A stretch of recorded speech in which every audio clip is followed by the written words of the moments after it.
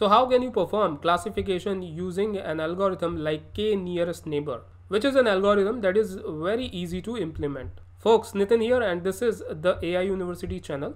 In this video, I'm going to introduce to you another classification algorithm called k nearest neighbor.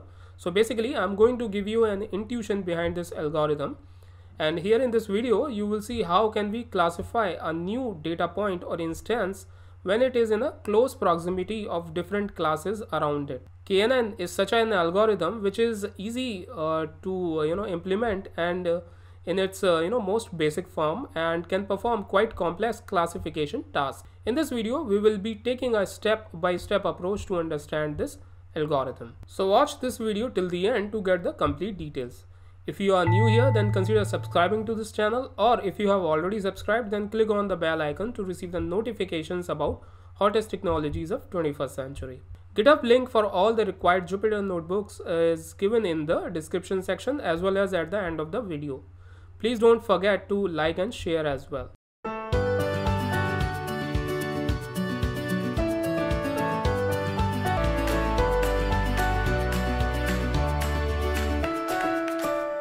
So just like logistic regression and support vector machines, k-nearest neighbor is a supervised machine learning algorithm which is used to solve the classification model problems. For the remainder of the video, I will be uh, referring the k-nearest neighbor as KNN. So the KNN algorithm takes an assumption that uh, similar things or data points exist in close proximity.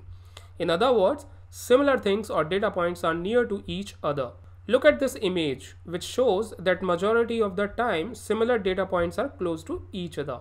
This algorithm is considered as a lazy learning algorithm because it doesn't have any specialized uh, training phase. Actually, it makes use of all the data for training while classifying a new data point. In this video, we will be taking a step-by-step -step approach to understand this algorithm.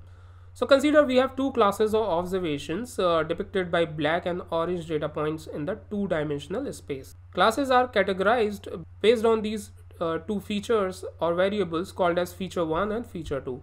Now let's say we encountered a new data point and our task is to classify this new data point that is whether it is going to uh, belong to black class or orange class or in other words whether this data point is going to be black or orange so we will use a k nearest neighbor or KNN algorithm in order to determine that. And here is the step-by-step -step approach we will take to classify this new data point. Here I will refer my new data point as x. Step 1.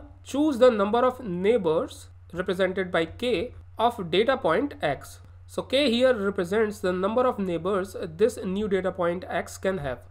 This can be any value based on your business requirement. That is, it can be 2, 3, 4, 5 or even 6 or even more. Step 2. Calculate the distance of point x from all the other uh, points and identify k nearest data points with least distance to point x. Now this distance from data point x to all other data points can be calculated using Euclidean, Manhattan or cosine methods but the most widely used one is Euclidean so we will be using it in our case also. Here is how uh, we calculate the Euclidean distance. So this is something uh, which we have already learned in our high school geometry. If you carefully see uh, this image, you will be able to figure out that it's nothing but a right angle triangle and the side for which we are trying to identify the distance is nothing but hypotenuse. Data point A has coordinates uh, x1 and y1 and data point B has coordinates x2 and y2. So the distance between these two data points can be calculated using the formula which is d equals to square root of x2 minus x1 square plus y2 minus y1 square. Step 3. Count the number of data points falling in each class from the given k neighbors. Here we try to find out how many data points are associated uh, with class 1 and how many data points are associated with class 2. Or if in case you have a third class then how many data points uh, are associated with third class from the given set of k neighbors. Step 4. Assign the data point x to the class having most neighbors. In this step you just need to assign uh, this new data point x to the class where the count of the neighbor is more. So let's see it in action now. So we had our black and orange uh, classes in the two-dimensional space. Uh, now we have this new observation and how can we identify its neighbors now? So as a part of step 1, we will first choose the value of k. So let's say we choose the value of k as 5. In step 2, we have to calculate the distance of point x from all other data points and identify 5 nearest data points with least distance to point x.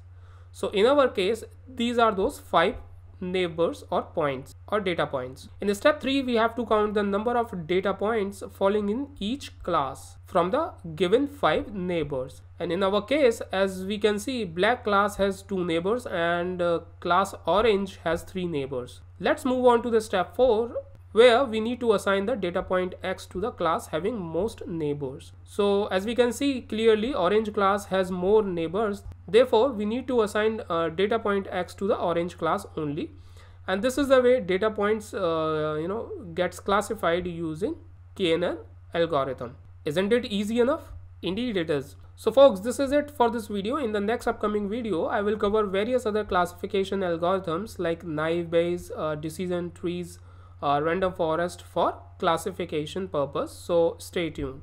Now here is today's question. Which of the uh, following ways of calculating distance are you aware of? Euclidean, Manhattan or cosine?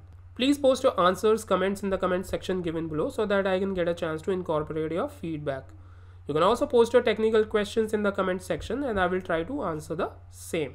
If you are watching this video and you are not already a subscriber to our channel, consider clicking that little subscribe button in case you have already subscribed, then click on the bell icon to receive the notifications whenever I will release a new video. So thanks for hanging out with me guys. I will be covering next topic in the upcoming videos. So keep on watching. Thank you.